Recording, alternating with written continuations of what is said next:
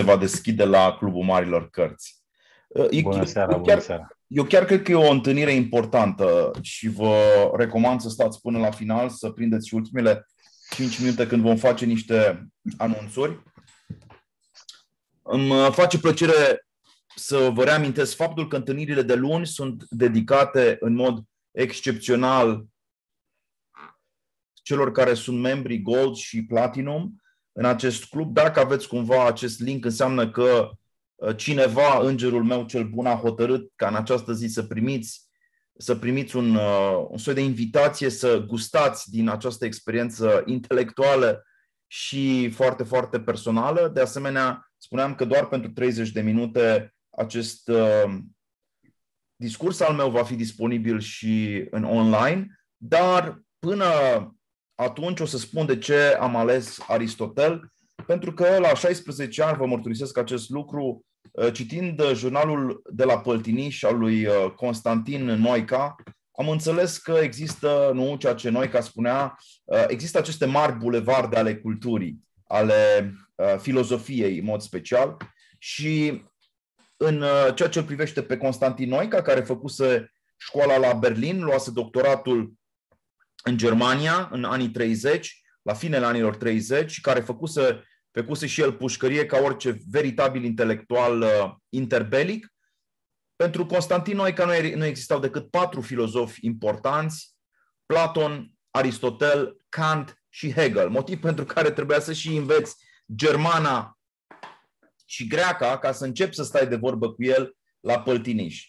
Uh, vremurile s-au mai uh, schimbat, suntem un pic mai democratici și nu o să cerem nimănui să învețe greaca pentru a veni la Clubul Marilor Cărți, dar vă, recuno- vă cerem în continuare să recunoașteți distinția între măreție și micime, între cei care rezistă probei timpului, iată aici doar două din cărțile mai practice ale lui Aristotel, retorica pe de-o parte și politica. Eu un an întâi de filozofie la Cluj și am făcut o școală serioasă, sub îndrumarea profesorului Alexandru Baumgarten, chiar a trebuit să învăț și ceva greacă și ceva latină, dar uh, spuneam că noi n-am reușit să citim la Cluj decât uh, cărțile abstracte, filozofice și, aș zice, speculative ale lui Platon și Aristotel.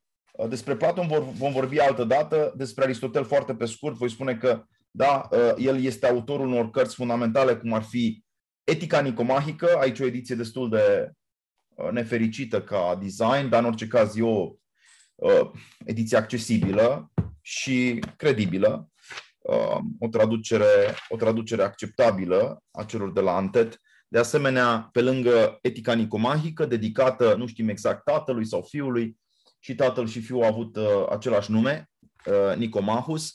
Avem și, atenție, metafizica lui, lui Aristotel, din care am dat un examen teribil de greu cu profesorul Virgil Ciomoș, țin minte și acum, și avem uh, Peripsyhes despre suflet, uh, cărți fundamentale pentru înțelegerea psihologiei, metafizicii, teologiei și cosmologiei lui uh, Aristotel. Adaug că am dat uh, examen și din fizica lui Aristotel. Dar n-am dat examen cu profesorii mei, însă dau examen cu dumneavoastră și am un pic de emoție. Nu știu dacă știți ce înseamnă să stremure uh, puțin mâna, vocea, să ai transpirație în palmă. Sunt copleșit de de emoție când dau examen cu, cu membrii Clubului Marilor Cărți. Cum e oare să rezumi o carte de, iată, 450 de pagini în doar un ceas și jumătate? Aș pleca de la faptul că nu, Aristotel era atenian, nu? Era un, un uh, cetățean adoptiv al Atenei, nu era tocmai cetățean, era metec, îi se spunea, de unde și cuvântul mitocan în limba română. Metecul e cel care participă la viața cetății fără să aibă neapărat toate uh, drepturile și responsabilitățile unui cetățean, dar fiind atât de briliant, atât de deștept, Aristotel, care a făcut o ucenicie timp de 20 de ani pe lângă Platon, apropo de consecvență, apropo de loialitate, apropo de virtuți. Cine dintre noi a fost discipolul cuiva 5 ani? Să ridice mâna. Cine a fost 10 ani, mai puțin, mai greu.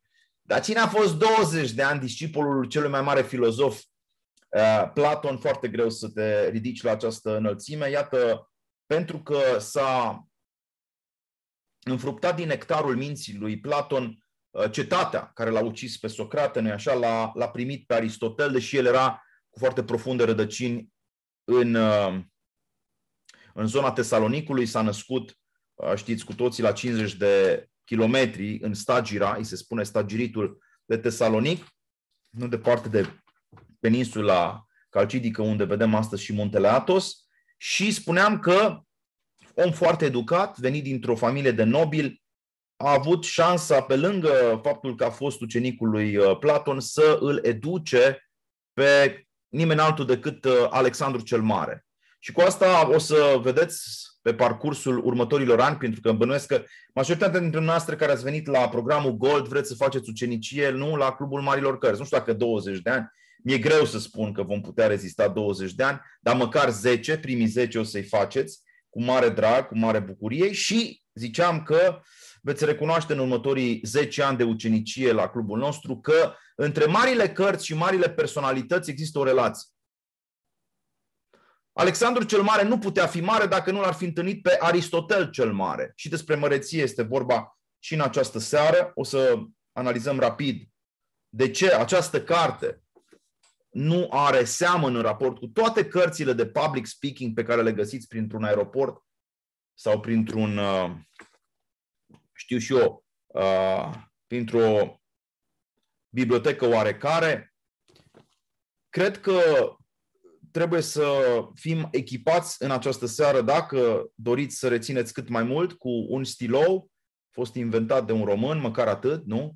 Uh, să-l onorăm pe Petrache Poenaru, deci să aveți un stilou, să aveți un caiet. Noi deja credem că aveți un caiet de piele deja dedicat Clubului Marilor Cărți, nici nu ne gândim că n-ați avea un caiet de piele și eventual chiar un stilou cu penițe de aur, nu? Credem că asta deja uh, e uh, bifat, nu? Pe lista noastră de, de urgențe. E important să fim atenți în această seară pentru că vrem să vă livrăm lucruri foarte, foarte de folos.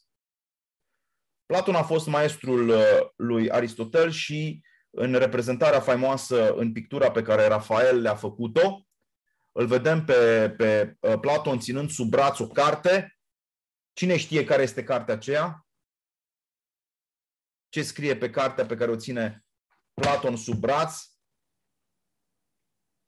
când pășește în Academie? Da? Scrie Timaios. Este o carte despre crearea lumii. Da, într-un fel sau altul, uh, filozoful Platon a pus cele mai grele întrebări. De ce a apărut această lume? De ce atâta armonie? De ce atâta frumusețe? De ce perfecțiunea, inclusiv a unei stângi? Care e raportul între particular și general? Cum se întâmplă că eu recunosc chiar și într-o piatră imperfectă idealul, da? arhetipul? De ce atunci când un copil îmi desenează, de pildă, un copil îmi desenează un soare frânt și nu are abilități să-l, să-l deseneze desăvârșit, eu recunosc un disc solar perfect. De ce această înclinație, propensiunea minții mele către desăvârșire? Asta a fost întrebarea lui, lui Platon și când el a scris uh, Timaios avea în vedere problematica aceasta a totului, a întregului, Aristotel s-a întrebat și el cu privire la aceste lucruri, dar mai mult, practic fiind, a, a pus întrebarea nu neapărat de ce, cât mai ales cum. Cum fac eu să trăiesc o viață cu sens? Cum arată aceste felii de univers pe care le pot contempla? Cum pot persuada pe cineva? Și asta este întrebarea retoricii. Cum pot convinge pe cineva să mă urmeze, să mă creadă, să mă susțină, să facă o investiție în mine. De aceea, în, întâlnirea de această, din această seară este chiar o întâlnire utilă tuturor, o întâlnire practică, o punem sub această umbrelă da? a eficienței. Pentru că nu vreau să credeți că acest club, Clubul Marilor Cărți, este doar pentru cei care au câte o reverie poetică și câte o întrebare metafizică sau câte o dilemă religioasă. Nu. Clubul Marilor Cărți vă livrează soluții practice la probleme cât se poate de tangibile. Și în această seară vom vorbi despre trei moduri de a asuma o prezență în spațiu public convingătoare care să conducă cu maximă eficiență la atingerea unor obiective. Sub brațul lui, uh, sub brațul lui Aristotel, dacă sub brațul lui Platon stătea Timaios, stătea Etica Nicomahică, o carte, uh, o carte despre cum trebuie să trăiești o viață frumoasă, armonioasă, în acord cu virtutea, care se leagă de retorică. Se pare că primele însemnări ale lui Platon și ale lui Aristotel despre retorică au ținut cont de nașterea în Atena a unei școli, foarte important vreau să distingeți între cei doi autori, școala lui Isocrate. Nu a lui Socrate, ci a lui Isocrate, adică cel egal cu Socrate, au spus unii. Cine era acesta? Era părintele oratoriei ateniene. De ce Atena avea nevoie de oratorie în centrul preocupărilor educaționale ale celor tineri? Foarte simplu, pentru că Atena în anul 400, Atena înfloritoarea lui Pericle, excela cel puțin în două domenii. Arta războiului și comerțul. Comerțul naval, dar nu numai. Ori pentru a pleda în favoarea unei invazii, pentru a pleda în favoarea unei mobilizări generale. Pe scurt, pentru a-i convinge pe bărbații, că femeile nu se implicau în război pe atunci, pentru a-i convinge pe bărbații Atenei să-și ia platoșa, să devină niște hopliți de nădejde, să lupte împotriva persanilor, aveai nevoie de cuvânt. Și cuvântul trebuia stăpânit cu măestrie. Deci Isocrate lansează această tradiție și foarte mulți după aceea ajung sofiști, știm că Platon i-a criticat, adică prestează servicii pentru cei care doresc să devină avocați sau generali, strategi sau politicieni, prestează servicii ca ei să dobândească, nu așa, aceste abilități care astăzi se numesc pe englezește public speaking and the art of storytelling. Deci, cu alte cuvinte, avem o tradiție rapsodică, să o numim așa, oarecum improvizată, așa cum cineva face de mâncare cu o anumită măestrie în casă, dar n-a mers să facă școala de masterchef, nu știu, de la Lausanne. E doar îndrăgostit de această artă culinară. La fel și uh, cineva, analogia nu este întâmplătoare, se poate îndrăgosti de un discurs structurat, bine formulat, dar nu neapărat a făcut și cursuri de retorică. Aristotel este important pentru noi, dragi prieteni, în această seară, pentru că Aristotel chiar ia în serios știința retoricii. Deci el ne duce din zona de improvizație în zona sistematică. De altfel, el a fost sistematic în tot ceea ce a făcut. S-a născut în anul 384 înainte de Hristos și a murit în anul 322 tot înainte de Hristos, a scris lucrări despre cosmologie, biologie, metafizică, etică, logică, geologie, poetică, teatru, politică și astăzi seara discutăm doar despre partea de retorică. Toată viața lui, inclusiv în luna de miere, s-a comportat ca un detectiv curios, dornic să găsească legitățile naturii înconjurătoare, inclusiv morfologia sexuală a caracatiței din insula Lesbos, a studiat-o cu nevastă sa în timpul lunii de miere, dacă vă puteți imagina așa ceva. Eu pot. Cred că și dumneavoastră. Pasiunea enciclopedică a lui Aristotel pentru, pentru cunoaștere îl făcea să țină în timpul nopții un vas de sticlă în mână, ca nu cumva să adormă și dacă, să, dacă adorme să se trezească, da, oricând vasul ăla risca să, să cadă pe pământ și să-i zdrobească piciorul? Într-un fel de ascetism pe care îl mai vedem și la alți pasionați de cunoaștere, de la Pico, de la Mirandola până la Mircea Eliade, în tinerețe cel puțin. Un om cu adevărat dedicat studiului, cum foarte puțin au mai fost, care îmbină pasiunea lui Tales, geniul lui Pitagora, zice, și perspicacitatea lui Arhimede la un loc, inventatorul unei instituții numită liceu. Toți am terminat astăzi, putem spune că cam toți am terminat un liceu, nu? Cuvântul acela vine de la Aristotel, care nu se lasă mai prejos decât uh, Platon. Platon spunea că niciun, niciunul care nu știe geometrie, niciunul care nu este geometru să nu pătrundă în academie. Aristotel zice altceva, anume că mișcarea este totul, că mișcarea explică lucrurile. De altfel, el își însoțește discipolii, Teofrastus era unul dintre aceștia, mereu într-o plimbare, niciodată nu stă, cum stăm noi, iată atât de mult, poate prea mult, uh, pe cât un scaun.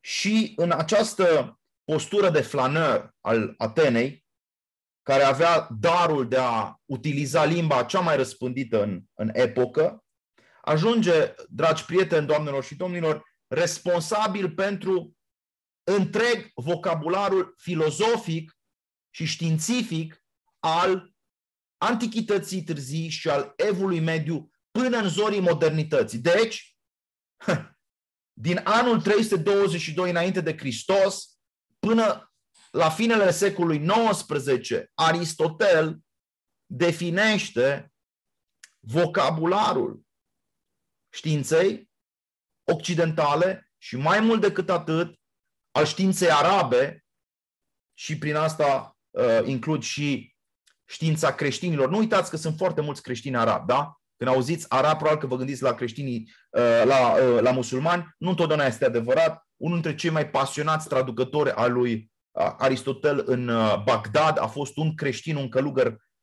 nestorian. Dacă nu ați găsit până acum un rost pentru viața călugărească, uite, vă spun eu ce rost aveau călugării în Antichitatea târzie și în Evul Mediu, transcriau și traduceau. Pentru că lăsaseră divertismentul și alte ocupa- ocupațiuni frivole în urma lor, se dedicau integral studiului și grație acestor călugări nestorieni bizantini sau uh, latini am uh, reușit, adică sirieni, nestorieni ca și confesiune, bizantini, adică ortodoxi ca și confesiune și latin, deci catolici ca și confesiune, grație acestor mari școli monastice, am reușit să păstrăm toată, aproape toată opera lui Aristotel într-o formă mai mult sau mai puțin accesibilă. Viața lui Aristotel poate fi citită în uh, această carte extraordinară. Eu am ediția din anii 60, vă recomand și ediția de la Polirom, Diogene Laertios despre doctrinele și viețile filozofice, filozofilor sau invers despre doctrinele despre viețile și doctrinele filozofilor, uh, Diogene Laertios vă spune povestea lui Aristotel, cel peltic, da? un pic de ironie aici, deși Peltic a fost foarte bun teoretician al, al retoricii și practician și spuneam că din această viața lui reiese faptul că a avut șansa să crească într-o casă unde tatălui a fost medic nu medicul oricui, ci medicul regelui Amintas al Macedoniei, deci a fost cumva cooptat de macedonieni și a avut șansa ca și nevastă sa, Pitias, să fie pasionată de embriologie. Nu s-a întâmplat asta și cu uh, Socrate, știți asta? Mariajul eșuat al lui Socrate cu Xantipa l-a făcut să petreacă mult timp pe sărmanul Socrate, care era și urât pe deasupra. Ce consolare că ești deștept dacă ești atât de urât ca Socrate. Ehm, în condițiile astea, Socrate a trebuit să stea foarte mult în afara casei, pe străzile din Atena și, neavând de lucru, i-a convertit pe toți la filozofie.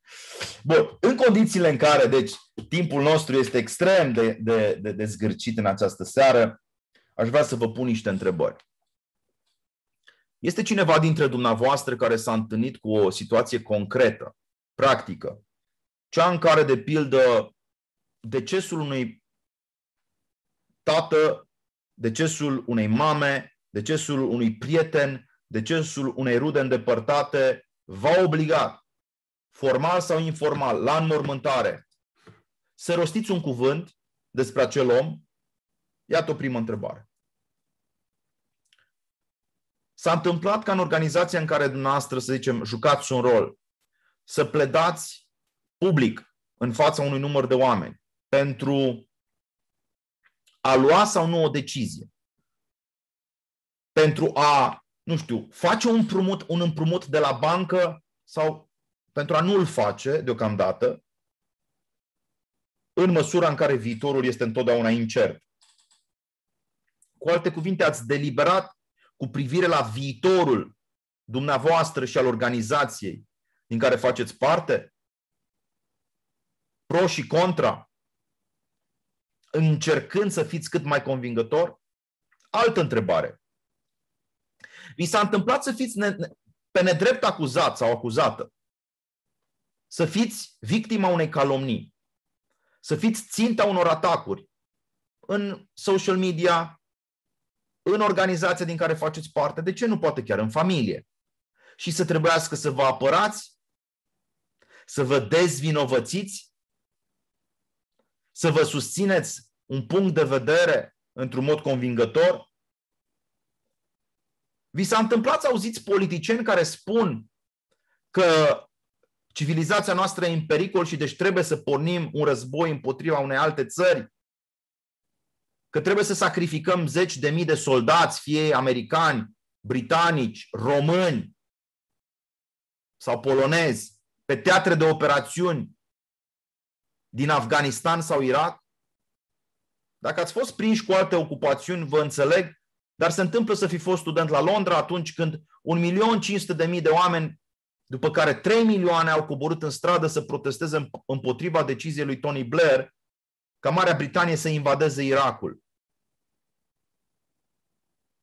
Și vă reamintesc că au murit foarte mulți oameni, de o parte și de alta, după decizia luată de Colin Powell, George W. Bush, Tony Blair și alți lideri ai lumii civilizate, zicem noi, de invadarea Irakului. Costurile au depășit 7 miliarde, 7 mii, iertați-mă de miliarde, spun prostii, 7 mii de miliarde. 7 mii de miliarde și încă ultimele trupe din Afganistan nu au fost retrase după 15 ani. Discursul lui Colin Powell de la Națiunile Unite m-a uimit. Faimosul discurs despre weapons of mass destruction. A fost un discurs pe care Aristotel ar fi studiat cu mare atenție. Pentru că a fost un discurs care angaja voința unei națiuni, națiunea americană, de a porni un război discursurile politice, discursurile juridice și discursurile etice au totul de a face cu retorica. Repet, discursurile în care elogiem virtutea sau disprețuim abjecția unui om, adică un discurs de tip etic. Discursul politic de angajare a națiunii noastre într-o luptă, cum ar fi lupta de eliberare a Basarabiei, de sub ocupația rusească, adică sovietică. Discursul nu doar al lui Ion Antonescu de implicarea României în al doilea război mondial, ci și discursul, aș spune, al lui Ferdinand în fața soldaților care urmau să moară la Mărăști, Mără, Mărășești și Oituz, era un discurs care trebuia să aibă forță de convingere.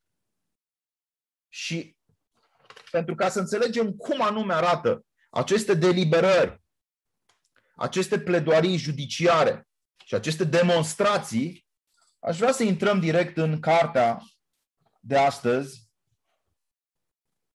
cartea aceasta superbă, încă o dată spun, este vorba despre retorica de Arist- a lui Aristotel și cine are dintre dumneavoastră cel puțin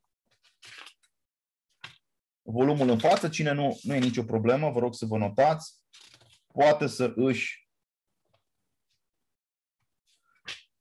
să-și scrie câteva gânduri uh, pe hârtie, plecând de la cele spuse încă din primele capitole. Haideți să facem o rapidă structurare a celor trei tipuri de discursuri despre care Aristotel vorbește. El spune că, în esență, nu poți vorbi decât despre trecut, prezent și viitor și are dreptate. Când eu trebuie să apăr sau să acuz pe cineva, hai să dăm un exemplu. George Floyd, vinovat sau nevinovat? A avut George Floyd niște plicuri cu substanțe la el, cocaină sau heroină? Da. A fost însă vinovat așa încât un polițist să poată să-i pună genunchiul pe umăr și să-l sufoce? Nu știm, nu, foarte probabil nu. Inocent sau vinovat. Aici este o discuție care ține de, atenție, o deliberare de tip judiciar, zice Aristotel. Și ea vizează trecutul celor întâmplate. Există apoi exercițiul deliberativ, mergem sau nu mergem la război, care surprinde utilitatea unui demers. Ne cumpărăm sau nu ne cumpărăm acest apartament, fiindcă trebuie să mergem să luăm un împrumut de la bancă. Cumpăr sau nu cumpăr această mașină? Pentru că pare să fie mai scumpă decât veniturile noastre. Mă duc sau nu mă duc la această facultate? Și atenție, hai să fim sinceri, uneori deliberăm în forul nostru lăuntric, mă căsătoresc sau nu cu această persoană, este sau nu acesta un bun prieten cu care să mă însoțesc, adică analizez utilitatea unui demers. În sfârșit, pe lângă trecut, legat de discursul judiciar, pe lângă viitor, discursul deliberativ sau politic, am zis eu, într-un sens larg, mai există discursul legat de prezent, demonstrativ, spune Aristotel. Dacă nu vă este prea greu, vă rog să rețineți și formula epidictic. De laudă sau blam. Dacă discursul deliberativ susține sau combate, nu știu, lansarea unui război împotriva Irakului, pornirea noastră într-un război alături de Germania împotriva URSS, dacă discursul judiciar acuză sau apără, discursul epidictic e fie plin de admirație, fie plin de obidă la adresa celui care e scos la iveală ca fiind nobil sau rușinos. Adică, în ultima instanță pe care noi o vom analiza în această seară, ne uităm la caracterul blamabil, deci rușinos, sau admirabil al unui personaj. De regulă, de regulă, acest encomiu sau această laudatio, cum mi s-a spus, nu, după Cicero, această laudatio vizează o persoană care se află în fața noastră sau care tocmai a murit, dar care are un soi de aură care se transmite în continuare în timpul prezent. Deci trecutul, prezentul și viitorul sunt toate cuprinse în știința aceasta a retoricii, în arta retoricii. Aș vrea să observați că retorica nu se confundă cu discursul tehnic al fizicii, al cosmologiei, al matematicii. De ce? Pentru că e foarte simplu. Nu poți susține un discurs retoric împotriva legii gravitației. Legea gravitației se demonstrează fără foarte multe adjective. Vorba lui Grigorie de Nazians, ce au lacrimile cu matematica. Legile naturii se recunosc, se explică, dar nu se plebiscitează. Vă rog să vă notați, da? Dacă postați pe Instagram, puneți și citatul. Da? Deci, legile naturii se recunosc, se explică, dar nu se plebiscitează. În schimb, chestiunile privind caracterul trebuie studiate cu mare, mare atenție. Într-un discurs cum este cel pe care astăzi îl vom analiza, legat de noblețe și de rușine, de virtute sau de viciu, poți alege să fii serios sau glumeț, poți hotărâ să te îndrepți către un panegiric către un enunț de beatificare, urmărind toate tehnicile și mijloacele de amplificare a argumentului tău. Discursul de beatificare este extrem de răspândit în tradiția creștină, cu sau fără o canonizare oficială, există un soi de canonizare tacită în orice tradiție creștină a unor figuri. În tradiția de pildă protestantă, când spui Wurmbrand, spui aproape, nu, la limită sfințenie. Când spui în tradiția ortodoxă Steinhardt, spui, nu, fără să există încă o canonizare a lui Steinhardt, nu, spui eroism, jertfă, chiar uh, din nou spun sfințenie. Și când spui, nu știu, pentru un catolic Edith Stein sau spui Ioan Paul al II-lea, iarăși ești într-un registru de beatificare care, sigur că trebuie consumat de către credincioși, de către teologi uh, deopotrivă. Bun. Urmează să intrăm acum, pentru cei care doresc să își noteze, în uh, miezul problemei noastre, diviziunea genurilor retorice și discuția foarte concretă despre cum anume poți să produci un discurs la moartea unei persoane dragi ție, dar și la moartea unei personalități. România s-a despărțit de regele Mihai acum câțiva ani, în 2017, dacă nu mă înșel. Anglia s-a despărțit de prințul Philip acum câteva săptămâni și foarte probabil se va despărți și de regina Elisabeta a II. Și eu vă întreb pe dumneavoastră ce va spune presa, ce veți spune domniile voastre, ce veți scrie pe Facebook, ce veți uh, scrie pe